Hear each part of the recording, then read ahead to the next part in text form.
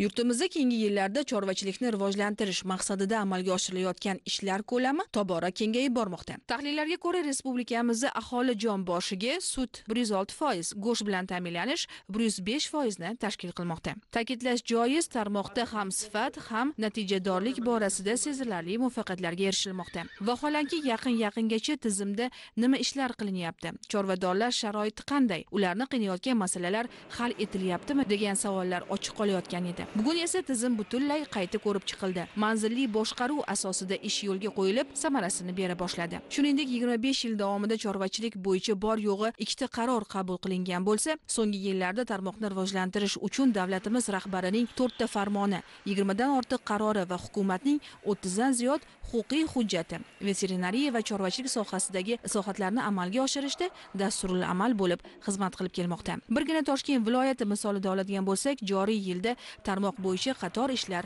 amalga oshirilgan. Toshkent viloyatida hozirgi paytda bir ming sakkiz yuzdan ortiq subyektlarimiz faoliyat yuritadi. Shundan qoramolchilik yo'nalishi bo'yicha olti yuz oltmish beshta e, subyektimiz faoliyat yuritib kelyapti. Sakkizinchi fevralda e, prezidentimizni bir yuz yigirma birinchi sonli qarori qabul qilindi. Bu yerda mana shu subsidiyalar miqdori e, oshdi. Ya'ni e, sutga beriladigan ikki yuz so'm o'rniga to'rt yuz so'mga o'tdi. Go'sht bo'yicha ham xuddi shuningidek tuxum bo'yicha ham e, narxi ko'tarildi.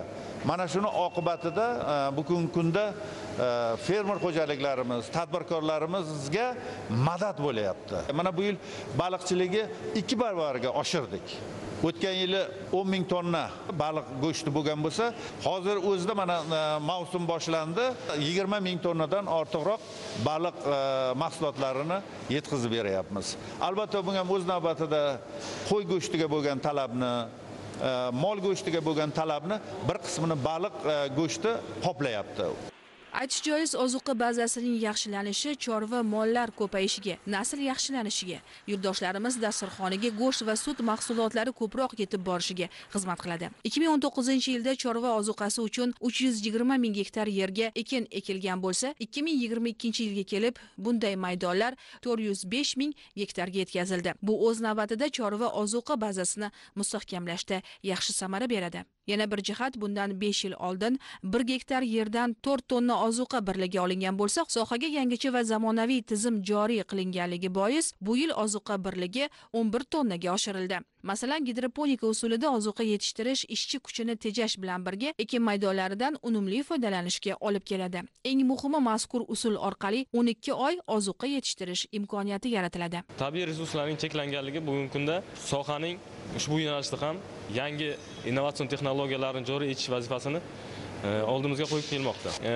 chorvachilik sohasida gidroponika usulida oziq yetishtirishda e, bir kilogramm bug'doydan yoki arpadan yetti kilogrammgacha sof yashil maysa olsa bo'ladi. Va bu sut yo'nalishida sut mahsuldorligini o'ttiz foizgacha go'sht yetishtirishda mahsuldorlikni o'n besh foizgacha oshirib berish afzalliklariga ega. Tizimda naslli mollarni ko'paytirish borasida ham amaliy ishlar qilinyapti. Masalan so'nggi paytda xorijdan bir yuz ellik mingdan ziyod naslli mollar olib kelinib ko'paytirilmoqda. Naslchilikni rivojlantirish bo'yicha asosiy ikki etapda ish boryapti. Birinchisi mollarni sun'iylantirish bo'yicha ishlar. Ikkinchisi chetdan naslli mollar keltirib mollarni naslini yaxshilash uchun ishlar ketyapti. O'tgan yili ikki million to'rt yuz bosh sigirlar sun'iy urug'lantirildi e, chetdan mol keltirib mol naslini yaxshilashyapmiz. Qirq ming boshdan ziyod qoramol kirib keldi. Shundan o'n olti o'n besh o'n olti ming naslli qoramollar hisoblanadi. Bundan tashqari o'zimizdagi e, bushir zoti mavjud. Bu zot oxirgi paytlarda e'tibor berilmasdan mol bosh soni kamayib ketganida hozir shu bo'yicha ham alohida ishlar olib borilyapti. Har xil kasalliklarga chidamli mahsuldorligi yaxshi o'zimiz iqlimga sharoitga mos zot bo'ladi. Shuningdek aholiga ham naslli chorva mollari yetkazib berish yo'lga qo'yilib qo'shimcha yangiliklar joriy etildi. Ya'ni davlat tomonidan subsidiya imtiyoz berish yo'lga qo'yilganligi tizim uchun yana bir imkoniyat eshigini ochdi. Bundan tashqari kooperatsiya usuli bilan o'ttiz uchta e, viloyatimizda e, kooperatsiyani amalga oshirdik. Ya'ni e, qoramollari aholiga berib aholi yetishtirayotgan sut mahsulotlarini qabul qilib olib bularga ham o'z navbatida subsidiya berishni tashkil qilganmiz. Buni afzallik jihati shundaki e, kundan kunga narx navo oshayapti. Lekin ana shu narx navoni e, man sut mahsulotlariga go'sht mahsulotlarini ko'zda tutayotganim yo'q. Boshqa misol uchun yoqilg'iga bo'lgan e, oziqaga bo'lgan va boshqa resurslarga bo'lgan narx oshayapti.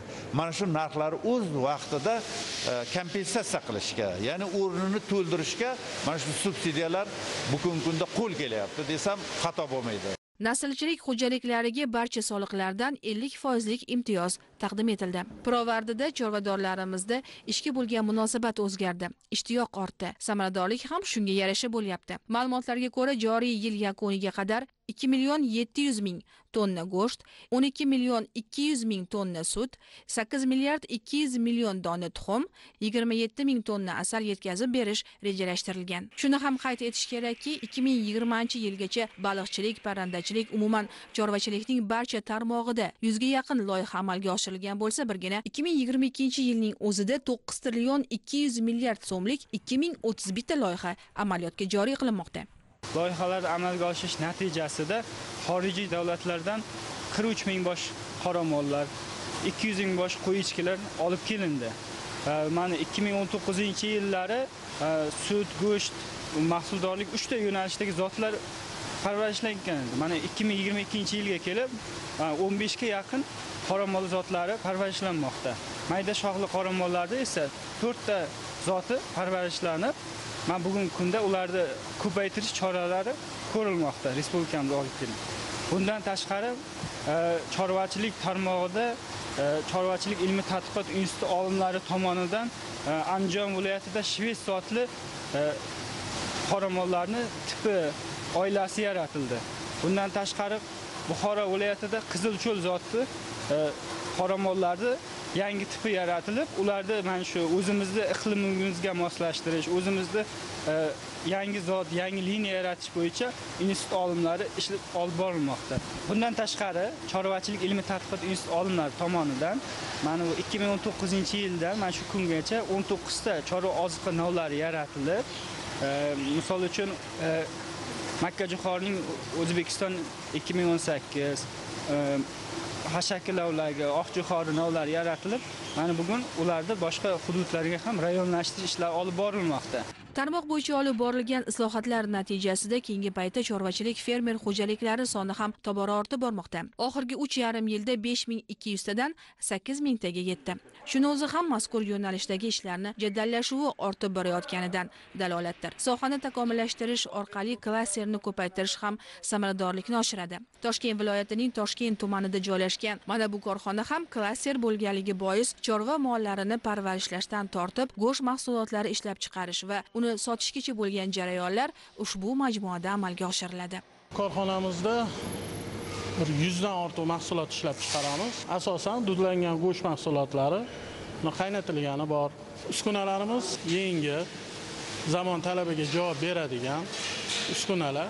Hammasi kompyuterlashtirilgan bir yuztadan ortiq ishchilarimiz bor. Ikki xil halol sertifikatga egamiz bugungi kunda o'zimizni milliy malayziyada beriladigan butun shu arab davlatlarida o'tadigan halol sertifikatimiz bor. Rejalarimiz katta ishlab chiqarishni oshirish hajmini oshirish biza o'zimiz ishlatayotgan go'shtimizni qoramollarni boqib yetishtirib o'zimiz so'yib o'zimiz mahsulot ishlab chiqaramiz.